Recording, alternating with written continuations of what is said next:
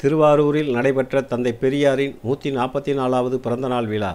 பெரியாரின் திருவுருவச் சிலைக்கு திமுக மாவட்ட செயலாளரும் திருவாரூர் சட்டமன்ற உறுப்பினருமான பூண்டி கலைவாணன் மாலை அணிவித்து மரியாதை செலுத்தினார்.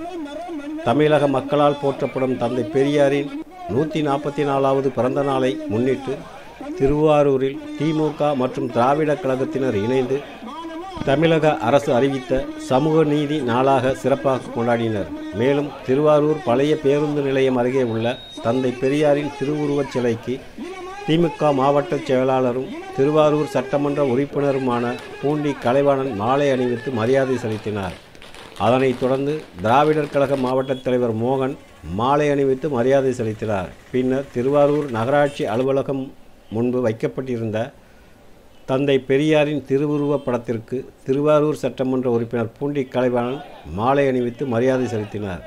தொடர்ந்து சட்டமன்ற உறுப்பினர் அலுவலகத்தில் வைக்கப்பட்டிருந்த பெரியார் திருவுருவப் படத்திற்கு மாலை அணிவித்து மலர் தூவி மரியாதை செலுத்தப்பட்டது.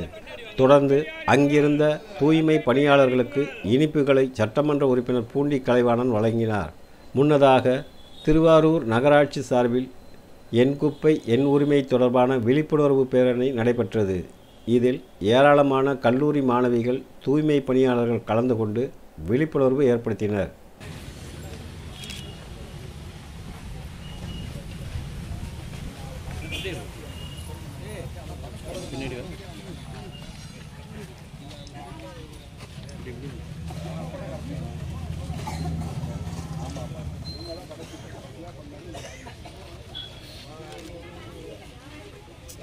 அப்படியே வேணும் அப்படியே வேணும்.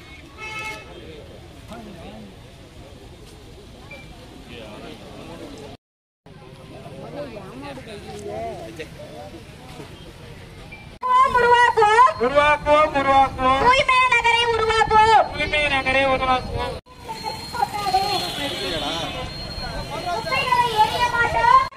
ஒழிப்போம்.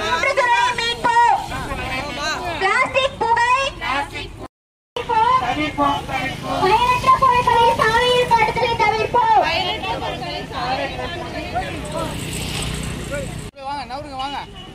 பிளாஸ்டிக்கை ஒழிப்போம். ஒழிப்போம்.